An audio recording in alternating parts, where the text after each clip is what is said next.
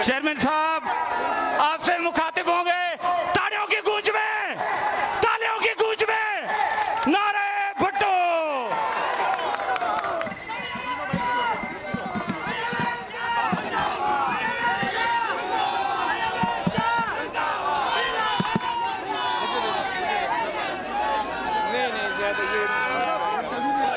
Hello hello hello. इनको पकड़ने दो।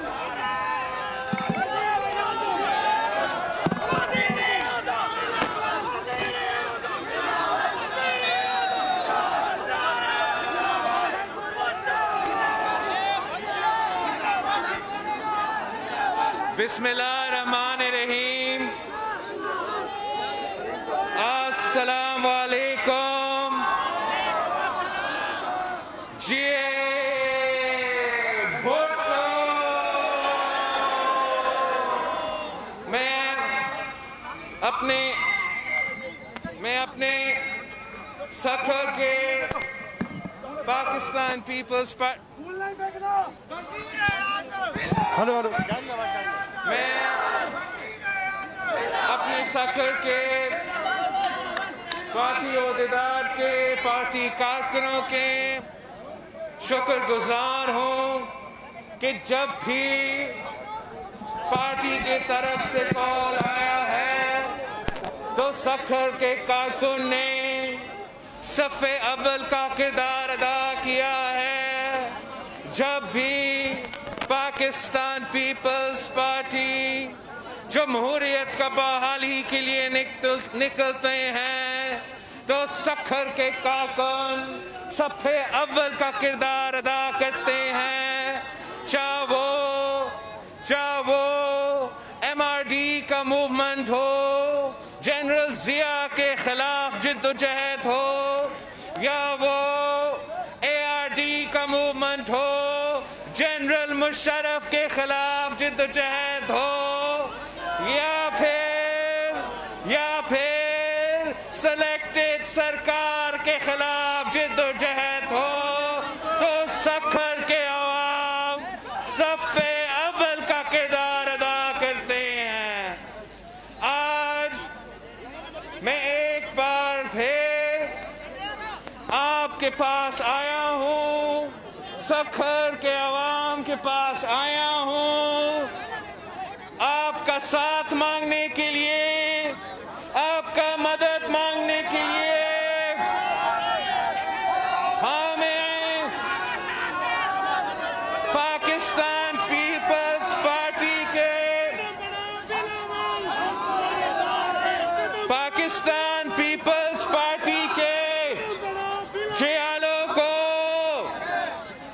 मुल्क भर में जागना होगा, ताकि हम इस नालायक, नाअहल और सिलेक्टेड हुकूमत को भगा सकते हैं।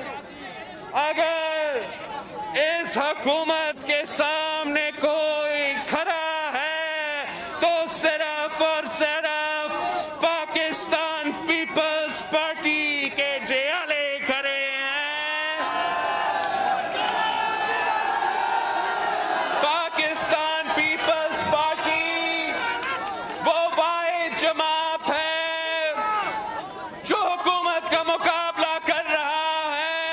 जो हुकूमत को तकलीफ़ पहुँचा रहा है जहाँ हुकूमत आवाम को तकलीफ़ पहुँचा रहा है जहाँ हुकूमत ने आवाम का ज़िंदगी में तकलीफ़ लाया है, वहाँ पाकिस्तान पीपल्स पार्टी का कारकुन सखर से लेके कश्मीर तक उन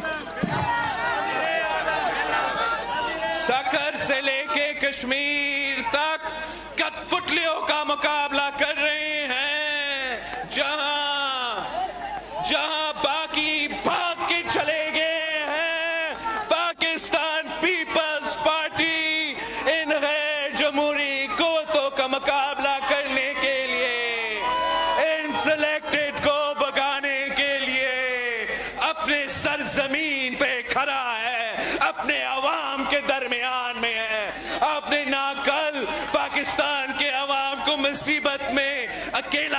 रहा है लावारिश हो रहा है, ना आज आपने पाकिस्तान को, आवाम को अकेला छोड़ा है। मैं पाकिस्तान पीपल्स पार्टी के जयालो को सलाम पेश करता हूँ।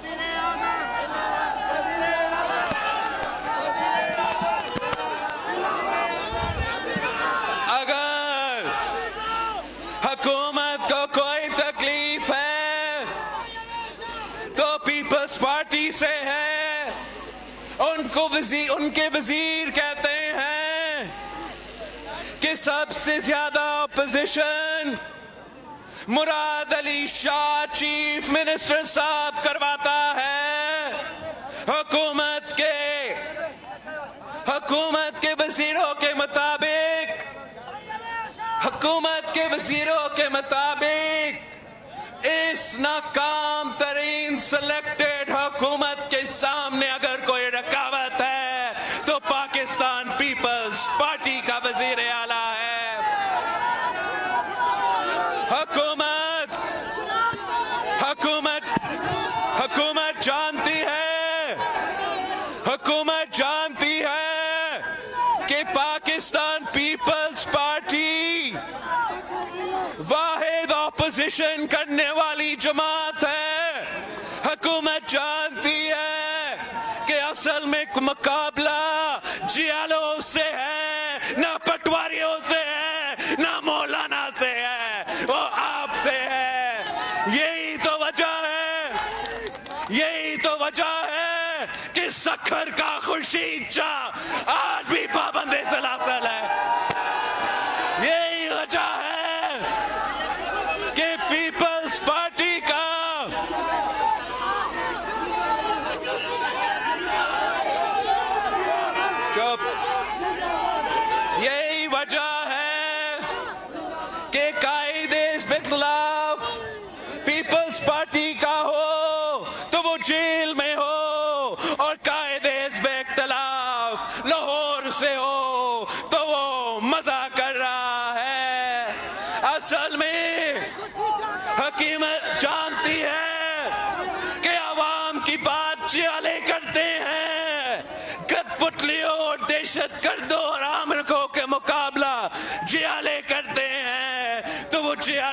तकलीफ़ पहुँचाने की कोशिश कर रहे हैं। मेरा हुकूमत के लिए पैगाम है। मेरे हुकूमत के लिए पैगाम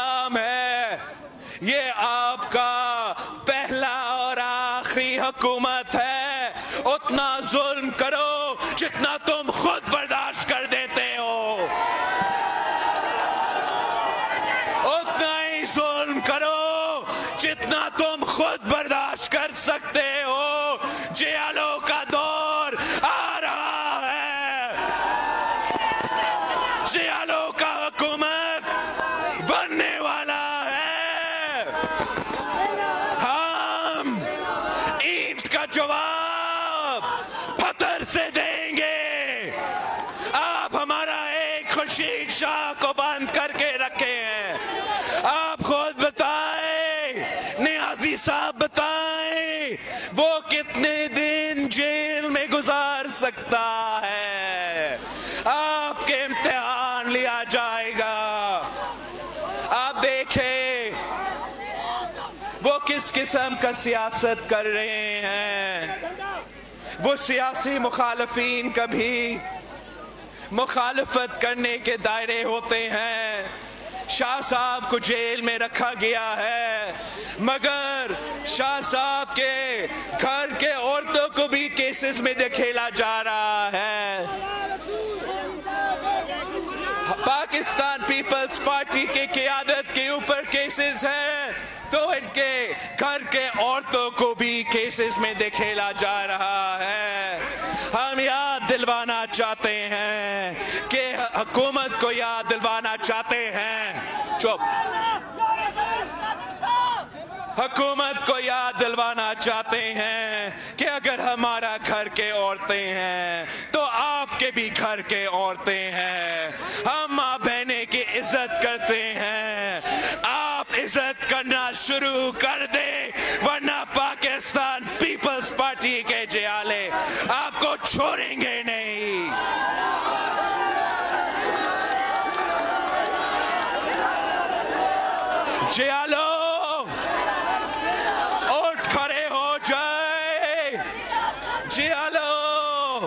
तैयार हो जाए अपना जिदोजहद तेज करे। हम पाकिस्तान बचाने निकले हैं। इस काफला में आप साथ हमारा दे। हम आवाम के रोज़गार बचाने निकले हैं। उनके हकूक बचाने निकले हैं। पानी का हक बचाने निकले हैं। आवाम को रिलीफ पहुँचाने निकले हैं। आप पीपल्स पार्टी के साथ दे और दुनिया की कोई ताकत आपका नहीं रोक सकता। निसार साहब ने एहतजाजी प्रोग्राम कि जब उनके काफले सखर पहुँचते हैं तो सखर का एहतजाज पूरा पाकिस्तान में से सबसे बड़ा एहतजाज होगा। जिए